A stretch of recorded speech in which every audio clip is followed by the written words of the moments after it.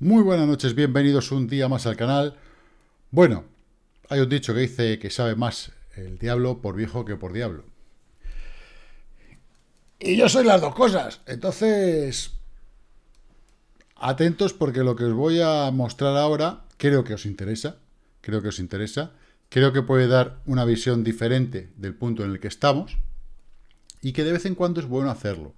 Eh, os lo enseño precisamente para que lo apliquéis, para que lo apliquéis no a trading solo, a trading o, a, los de los holders, también os puede ayudar, porque sé que hay holders que están ahora diciendo, ¿qué hago? En un rebote vendo algo para coger liquidez y si baja luego... Eh, bueno, pues vamos a verlo desde una perspectiva diferente que nos puede dar una idea del camino en el que estamos y dónde podemos llegar. Así que, sin más dilación, hoy no me enrollo más, comenzamos.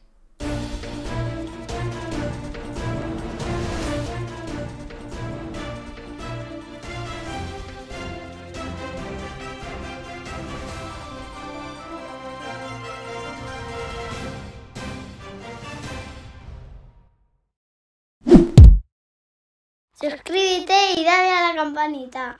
Únete a la mejor comunidad de Cristomonedas. Eso, únete a la mejor comunidad de Cristomonedas, ¿eh? como dice mi niña. Para eso tienes aquí debajo el link para el Discord, eh, en el que estamos todos, todas y todos. Eh, Ofelia me ha dicho, pon un poquito a tu nieta, que me gusta, me gusta. Pues digo, venga, petición concedida, ahí está. Pensabas que la había quitado, ¿no? Lo que lo pongo de vez en cuando. Entonces, bueno, luego por otra parte, eh, José Manuel Sánchez, eh, que me ha dado un súper gracias de esos de, pago encima, que yo no sabía, y lo he visto y digo, ¡ala! Cinco pavos de super gracias. Pues muchísimas gracias. Eso mm, ayuda a que el canal, la web y todo se vaya manteniendo. Em, por otra parte, bueno, Roberto ha hecho alguna petición. Alejandro, Alejandro me pedías, eh, ¿Qué pasa cuando pago en FTX con tarjeta? Bien, pues he estado mirando y nos dice FTX, lo tengo aquí delante, que eh, normalmente en las tasas por transacción, porque ellos automáticamente convierten cualquier entrada con tarjeta a USDs, em, tienen un, recargo aproximadamente eh, del 3%, con, y normalmente suele ser te, te, dicen aproximado, porque luego depende de cada banco, ¿no? Y aproximado suele ser un mínimo de 10 euros. Ellos lo hacen a través de eh, Circle. Em, USDC. Em, luego, además, el Cash Advance Fees, eh, que son, bueno, eh, igual otro 3% tal, pero que eso es para tarjetas raras de bancos que cobran esas comisiones. Dice que esas fees de bancos conocidos suelen ser Bank of America, Citizen, PNC y el US Bank. Eh, entiendo que con una tarjeta normal, pues te cobran la comisión del al cambio tal y va a rondar eso aproximadamente el 3% que está en unos segundos y que el depósito máximo con tarjeta de débito y crédito son 2.999 dólares. Así que eh, esto es lo que nos dice FTX en cuanto a los ingresos con tarjeta. Yo no he hecho ninguno, eh, no, no, tengo tarjeta, yo no pues no he hecho ninguno. En fin, em, vamos a ver, en eh, primer lugar, que nos ha recordado Borja, que no, que vea la gente, que vea la gente que no todo es criptomonedas y que no todo, eh, y que hay valores que efectivamente hace, hace varios meses que hablamos de, de EIDF, Energía, Innovación y Desarrollo Fotovoltaico, Sociedad Anónima, el cual pues desde entonces más o menos ha subido como un 150. Estuvimos, estábamos en esta zona, si no recuerdo mal, eh, porque fue por allá, por, fue primero de febrero, finales de enero, si no me equivoco, eh, y llevamos un 164%. Ha estado un poquito más alto, pero bueno, este cataplón del otro día, eh, pero fijaros. Y esto va a seguir. yo no sé si tenemos gobernantes, bueno, tengo la seguridad de que no tenemos eh, gobernantes con sesera, pero si lo fueran, posiblemente estarían bañando España de placas solares, haciendo una cogeneración brutal con, eólica. La, la, marina también debería estar ahí eh, y deberíamos de estar exportando energía para este invierno como locos. Pero como lo único que tenemos son trabas burocráticas de a ver quién se lleva las comisiones y la pasta, pues es lo que tenemos. O sea, si el propio Elon Musk ya lo dijo en su momento, España, como no es pabiles y empiezas a, a, generar electricidad, te vas a quedar. Ahora están que si el gas, que si va a venir de un sitio, que si ahora viene con el, con el emir catarí, eh, gas licuado. Pero, señores, sí, muy bien, si eso para Europa, para, el resto muy bien, pero aquí generemos energía limpia, que podemos, que podemos hacerlo. Que no es eh, que necesitamos complementarla, por mucha que generemos, porque no es de la mejor calidad precisamente. Sí, pero que está ahí, es una realidad y se podría hacer.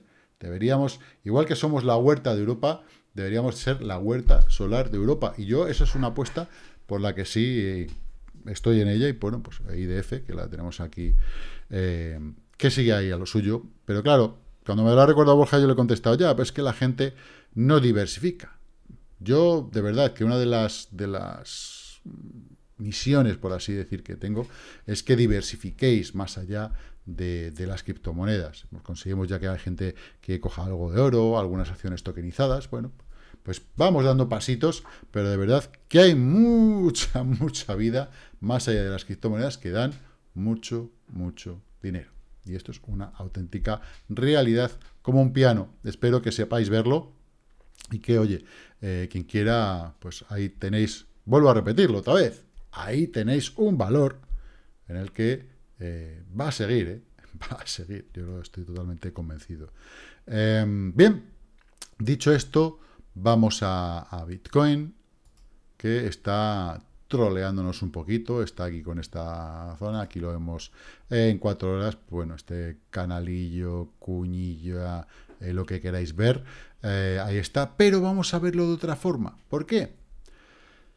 Porque Bitcoin tiene, bueno, pues ciertas características que nos, bueno, nos pueden ayudar a ver. Mirar, vamos a tirar primero la línea de tendencia. Hasta aquí todo bien. Vamos a tirar por otro lado esta zona. Pam, de soporte, ¿sí? Vamos, de momento tenemos un triangulito muy majete que bueno, ha intentado romper a la baja y ha ido hacia arriba. Vale. Ahora vamos a hacer un ejercicio eh, que, bueno, más de uno ya lo conocéis, que es venir e invertir la escala. ¿Vale? Cuando tengamos la duda de que puede hacer algo, que puede hacer qué, podemos invertir su escala y decir, bueno, pues ahí está, ¿no? Vale, Ahora vamos a cambiar un poco la temporalidad, porque es que eh, yo estoy, lo iba a hacer, hoy he hecho un vídeo para el VIP, que creo que es un vídeo muy, muy, muy, muy bueno. Espero que los que no lo hayáis visto lo veáis. Eh, es importante, ese vídeo es importante. Pero esta parte la iba a poner, pero digo, creo que es mejor compartirlo con toda la comunidad. Evidentemente, pues a los del VIP, eh, digamos que tienen un apoyo diferente y prefiero bueno, pues esos momentos eh, dárselo, porque para eso colaboran. Vamos a ponernos en tres días, ¿vale? ¿Y qué pasa cuando yo cojo mi gráfica de tres días? ¿Qué tengo aquí? Un hombro, una cabeza y un hombro, ¿vale? Tengo una estructura bastante clara, ¿bien? Ahora, esta estructura tiene algo que es su línea clavicular, que vamos a dibujarla, que está ahí. ¿Sí? Aproximadamente, vamos a intentar dejarla así más o menos fina, fina, filipina. Tenemos una línea clavicular, la cual hemos pasado ya a la baja, y que además, ¿qué suele hacer estos movimientos? Pues muy fácil. Bueno, muy fácil. ¿Qué es lo que suelen hacer? Pues suelen hacer esto. La paso, hago un pullback y voy a mi destino. ¿Sí? Vale, pero ¿cuál es su destino? Bueno, la teoría, la teoría nos dice de que al menos su destino debe de ser ahí, la proyección desde el fondo hasta aquí, Podría irme más abajo al fondo eso, pero sería un poquito, eh, no sé, eh, ya no creo que sea necesario. Podemos tomarlo en la mecha, podemos tomarlo en el cierre. Yo voy a tomar en la mecha porque, como os digo, siempre vamos a ponerlos en la peor de las situaciones. ¿Qué nos dice la peor de las situaciones? Pues que estamos rondando la zona de los 18.199, es decir, esta cosita que tenemos aquí, ¿vale? Entonces, si tenemos esta cosita que tenemos aquí y nos ronda eso, pues quizás deberíamos hacer esto, ¿vale? Marcarlo, eh, ¿dónde tengo yo? Aquí, marcarlo como resistencia no, porque en realidad sería un soporte, ¿no? ¿Por qué? Porque estamos invertidos. Ahora vamos a volver a darnos la vuelta. ¡Pam! A que os parece más difícil hacer eso ahora, pero sin embargo está bastante más claro. Porque cuando tú inviertes la escala, muchas veces la cabeza está acostumbrada ya a ver el dibujo y no ve muy bien las formas, ¿vale? Pero aquí se ve bastante clara. Una vez hecho, tú inviertes tu escala. Es un ejercicio que podéis hacer con cualquier valor cuando tengáis dudas, ¿vale? Tú inviertes tu escala y dices, vale, tengo un hombro, cabeza, hombro, ya lo he perdido, he perdido la línea clavicular, vamos a por el pullback, es decir, ese, eh, digamos, rebote que esperamos, a la zona de 35 aproximadamente, pero para eso primero tenemos que pasar esa zona de 31, 31 no sé cuántos, 31 yo que sé, ¿vale? 32, eh, y bueno, podremos llegar ahí, rebote, puede ser que llegue ahí, puede ser que no llegue, no importa, y ¡pum! Claudicación en el tiempo. ¿Cuánto puede durar esto? Pues lo más seguro es que, ¿quién sabe? ¿Por qué? Porque no sabemos cuánto va a durar la crisis que hay. No tenemos ni idea. No lo sabemos. Entonces, esto es simplemente un ejercicio para que veáis una posibilidad más dentro de todas las que hay. ¿Por qué? Porque Bitcoin mañana puede hacer así, irse para arriba a tomar por saco. Pero claro, ser realistas, es decir, el momento de mercado, eh, las emociones que hay rondando el mercado, el momento económico real, nos llevan a que Bitcoin rompa al alza. Nos lleva, como todos los mercados, como hoy, pues el SP500, etcétera, están con los rebotes, nos llevan a rebotes. Rebotes que, pues bueno, pues seguramente las bolsas tradicionales estarán bastante controladas, un 5, un 10%, vale, pim, pam. Luego otra vez para abajo, luego Eso es, eso es un mercado bajista. Y a ver si eh, hay gente que le entra en la cabeza que estamos en un mercado bajista y que no dura seis meses como llevamos, que esto dura un año y que encima tenemos una crisis galopante detrás con subida de tipos de interés, etcétera, etcétera. Yo pienso que Bitcoin se va a portar bastante bien. De hecho, se está portando bastante bien en comparación con algunos valores de los mercados tradicionales. Algunos, otros, como ya hemos podido ver al principio, no. ¿Vale? Pero la práctica que acabamos de hacer guardarla, guardaros bien este vídeo. Si os está gustando, darle un like, suscribiros, que es gratis, de verdad. Yo os prometo algo. Suscribiros es gratis. No como me ha hecho eh, José Manuel. Un súper gracias, ya no es gratis, ya cuesta dinero. Pero oye, muchas gracias porque la verdad es que me ha hecho mucha ilusión. Eh, no, no, no sabía que, eso. Sabía, sabía que estaba ahí, pero es la primera vez que me dan un súper gracias. Eh, entonces, bueno, eh, de verdad, este ejercicio importante. Para cualquier valor, cuando tengáis la duda, oye, va a romper hacia arriba, hacia abajo, tal, invertís la escala, os venís aquí al suelecito, pulsáis, ¿vale? Invertir escala y decís, si esto tuviera que subir, ¿está haciendo un suelo?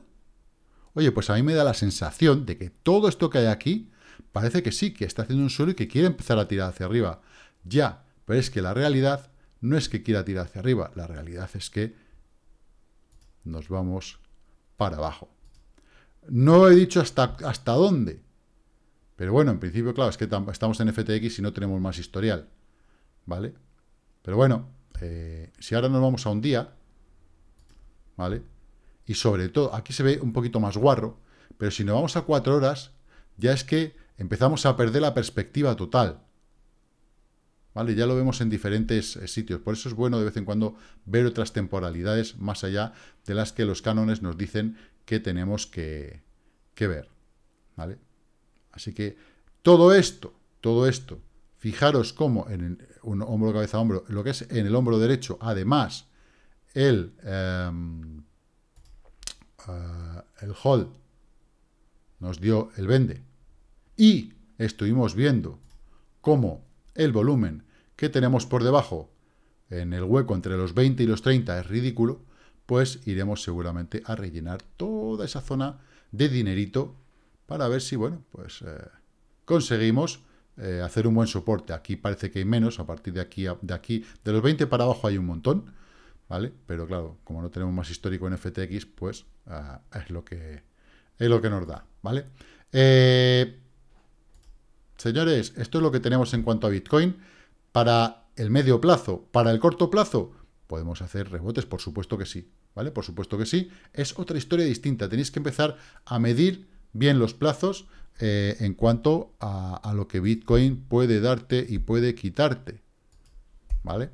Eh, vamos a dejar esta marca ahí, eso sí lo voy a dejar, el resto pues tampoco, tampoco me interesa mucho porque ya me lo sé de memoria.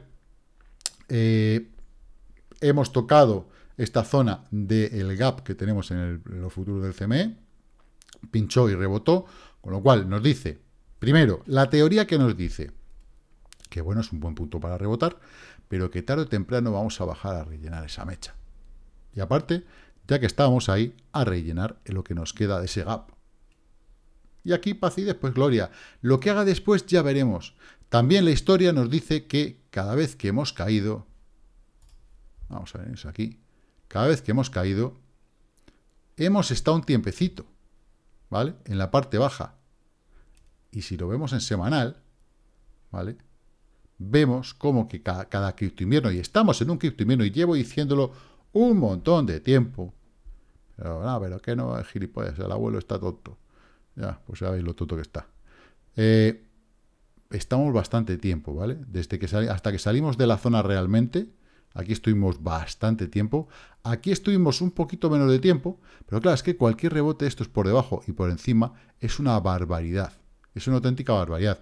Y fijaros, para muestra un botón, eh, de este mínimo que se hizo aquí, ahí está, a el máximo que se hizo ahí, hay un 40%. Y fijaros que es de esta zona a esta zona. O sea, esta mierdecilla es un 40%. Es una auténtica borriquería. Es un montón comparado con los eh, valores tradicionales. De momento, la vela semanal, y estamos a miércoles, bueno, pues parece que hay que dejarnos un rabillo, empezar a juguetear ahí, hacer un chupachus, ya veremos. Pero hasta que no terminemos, sí me interesa mucho. No sé lo que ha dicho Christine Lagarde, la lagarta, eh, no sé qué habrá terminado diciendo. Es importante también lo que diga Powell, eh, para ver si las bolsas siguen un poquito animando en estos días. Eh, a las 7 ahora hablaba la lagarta y Powell a las 8 de la tarde. Para mí son las 19.35, con lo cual eh, ya después del vídeo iremos viendo qué pasa. Si no os lo veremos en un corto, si no ya mañana eh, tomaremos buena cuenta de qué es lo que hayan dicho. para evitar también un poquito la volatilidad que puede producir sus palabras. Y ya tranquilamente mañana las comentamos. En cuanto a Ethereum, bueno, pues está haciendo lo mismo que hace Bitcoin, no tiene más. La dominancia de Bitcoin ha bajado, ha caído un poquito, se ha apoyado en la línea de tendencia y bueno, intenta rebotar ahí un poquitito. Vamos a ver, porque está haciendo una banderita en toda regla. El total market cap recupera un pellizquito, está igual haciendo una banderita. Eh, por cierto, por cierto, importante, creo que... Ah, vamos a ponernos en diario, día, ¿vale? Eh, para que veamos la estructura, y esto lo he hablado hoy con un alumno, en el one-to-one, caemos, hacemos esto, caemos, hacemos esto, un poquito más corto, este va a ser más corto que este, caemos, claudicamos y a partir de ahí vamos a buscar una vela que abrace a la otra, una vela de escape para empezar a subir. Vamos a ver, vamos a ver, ¿vale? Vamos a ir observándolo bien porque no siempre se sale así, no siempre se termina así y no siempre ¿Qué, ¿Qué coño? La historia siempre se repite, qué narices. Somos humanos y siempre caemos en las mismas. Eh, en cuanto a, bueno, pues el oro se ha intentado recuperar hoy un poquito, eh, está sufriendo un poquito. ¿Por qué sufre más de la cuenta el oro? Por el precio del dólar, sobre todo. Por el precio del dólar, el precio del dólar está caro, carísimo, y bueno, pues por eso sufre eh, el oro. Eh, como se están subiendo rápido y la, la, Fed está reaccionando muy rápido los tipos de interés, al oro eso no le está viniendo muy bien. Pero bueno, eh, paciencia con él. En cuanto a las altcoins, bueno, cadena que sigue aquí. Hoy ha habido un día bastante majete de altcoins. Vamos a ver qué tenemos en el lado positivo. Bueno, pues AMD no es una altcoin, esto son acciones tokenizadas. porque tengo ya aquí acciones tokenizadas? Aquí, quiero ver aquí. ¿Dónde estás? Aquí. Pares USD. Yo decía, qué cosa más rara. Bueno, IDEX, 67%. Jesús, Jesús, y ha estado, fijaros cómo ha estado, ¿eh? subiendo un 100%. Madre mía. Marque. Bueno, no.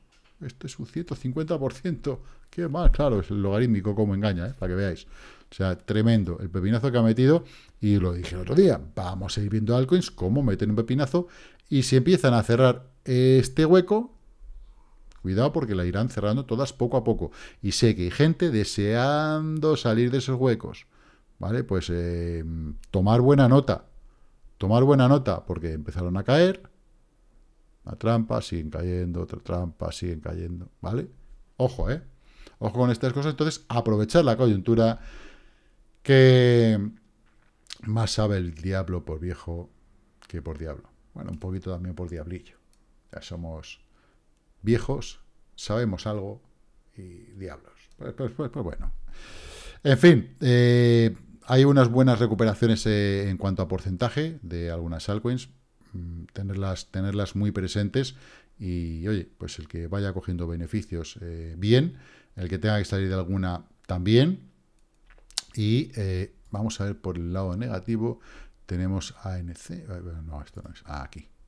NACA, NACA, NACA, ñaca, ñaca. Umbrella, Boson Protocol, y bueno, la verdad es que enseguida nos vamos a beneficios, o sea que muy bien el día de hoy en cuanto a las altcoins.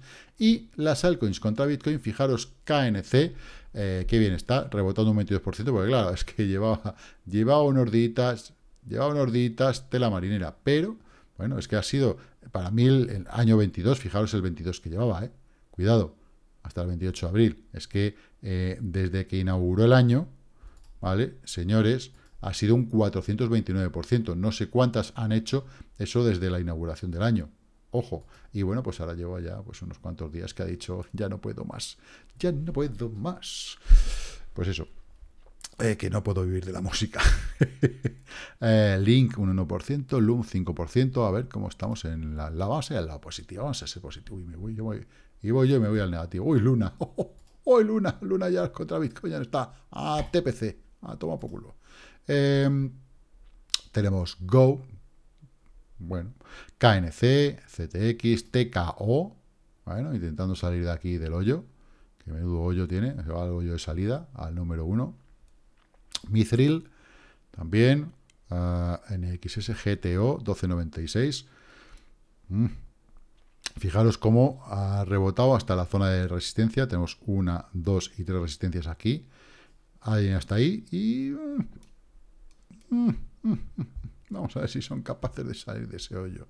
Eh, también, 1250, 3 cuartos de lo mismo. Esta, esta ya es perrilla vieja. Esta ya es más... Esta es otra historia. Pero claro, fijaros cómo eh, una cripto, un proyecto de una cripto además que tiene su, su valor en la privacidad, eh, desde la subida del 18, diciembre del 17, eh, caída del 18, no ha vuelto a recuperar su precio.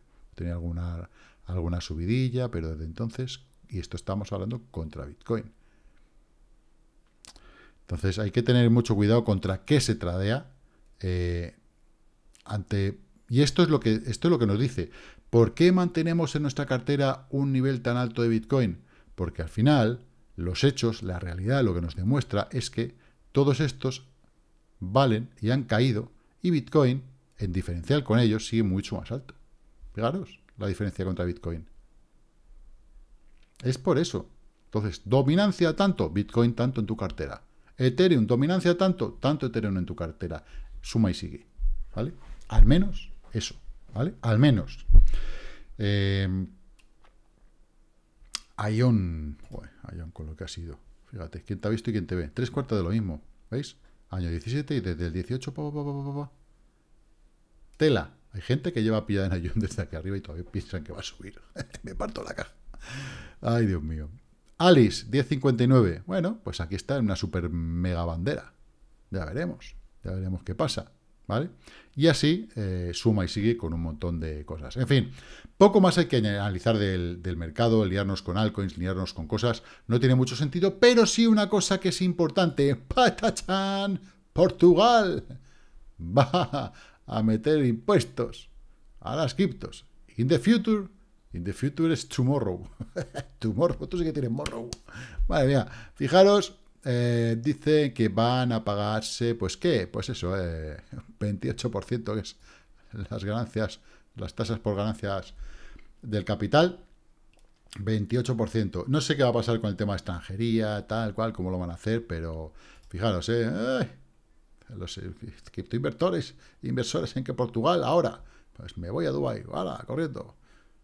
Pues bueno, yo creo que a más de uno se le acaba el chollo de los cuentos balineses, pero bueno, siempre.